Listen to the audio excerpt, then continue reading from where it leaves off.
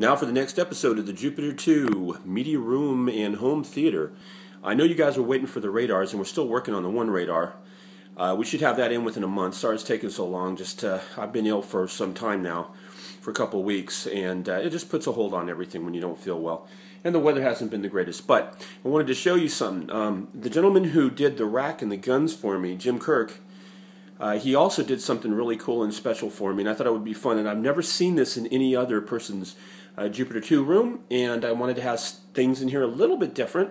I don't want to um, be copying somebody else's work, of course. Um, there's nothing wrong with being inspired by it, but you don't want to copy it. So without further ado, ta-da! Now, this is a um, the uh, deutronium um, that they used for the ship. Uh, this is the uh, fuel, and he made me this little rack um, with the uh, the canisters. And if you look right here, it's really sweet. He's got this all done, and then he's got each individual little canister. And these are actually as close as he could find to uh, the bottles that they use. And if I know him, they're pretty darn accurate. Then he's got this little caution radioactive material um, precaution on the side. And then on the other side of this, he actually filled out like if somebody was to come in here and inspect this. It's pretty funny.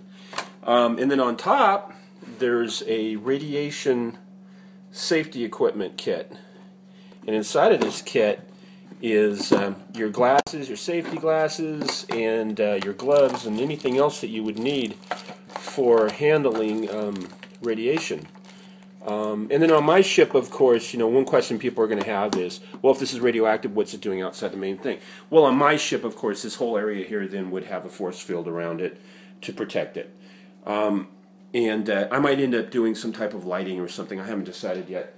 Uh, but I wanted to show that to you guys. I thought it was really, really cool. We just got it in the mail.